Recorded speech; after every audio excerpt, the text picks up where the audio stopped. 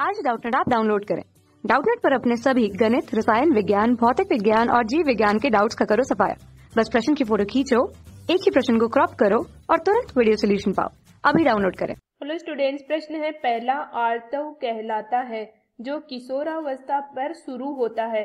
पहला विकल्प दिया गया है रजो निवृत्ति दूसरा है, अंडोत्सर्ग। तीसरा है, युग्मक जनन। और चौथा विकल्प है रजो दर्शन तो हमें यहाँ पे प्रश्न में पूछा है पहला आर्तव क्या कहलाता है?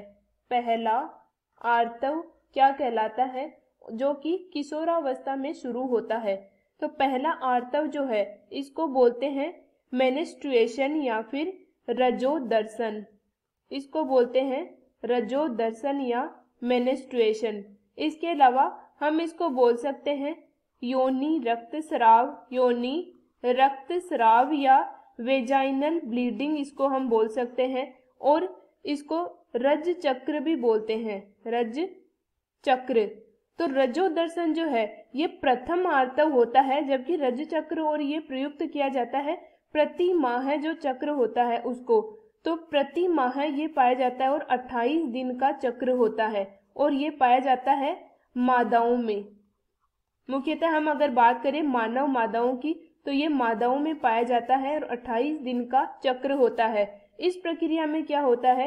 इस प्रक्रिया में गर्भाशय की जो आंतरिक भित्ति होती है, गर्भाशय की आंतरिक भित्ति जिसको हम बोलते हैं एंडोमेट्रियम बोलते हैं या फिर अंत भित्ति बोलते हैं तो प्रति माह गर्भाशय की एंडोमेट्रियम का हटना, जिससे रक्त स्राव होता है। रक्त स्राव होता है, वेजाइना के द्वारा ब्लड फ्लो होता है, उसको हम बोलते हैं रज चक्र और ये प्रथम बार कब होता है? तो ये मादाओं में प्रथम बार होता है, लगभग 12 से 13 वर्ष की आयु में शुरू होता है। 12 से 13 वर्ष की आयु में शुरू होता है। तो ये प्रक्रिया पाई जाती है आर्तव चक्र में। प्रथम आर्तव कहलाता है रजो दर्शन। तो पहला विकल्प में दिया गया है रजो निवृत्ति। तो ये गलत है। रजो निवृत्ति जो है ये प्रक्रिया होती है मिनोपाज और ये प्रक्रिया होती है रजोनिवृत्ति की प्रक्रिया।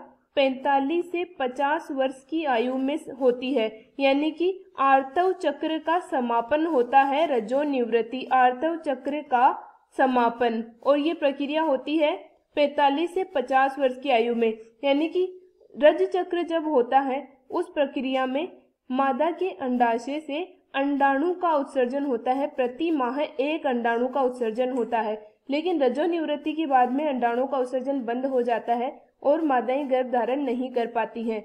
दूसरा विकल्प दिया गया अंडोत्सर्ग, यानी कि अंडाशय से अंडाणु का उत्सर्जन तो यह भी गलत हो जाएगा। तीसरा है युग्मक जनन यानी कि युग्मकों का निर्माण होना तो यह भी गलत है। चौथा है रजो दर्शन तो ये सही है यहाँ पे। तो इस प्रकार से इस प्रश्न में हमारा सही उत्तर आ जाएगा, विकल्प नंबर चार। कक्षा छठी से बारहवीं से लेकर NEET I I T JEE वो एडवांस के लेवल तक। एक करोड़ से ज़्यादा छात्रों का भरोसा। आज ही डाउनलोड करें डाउट नेट ऐप या व्हाट्सअप करें अपने सारे डाउट्स आठ चार सौ चार सौ चार सौ पर।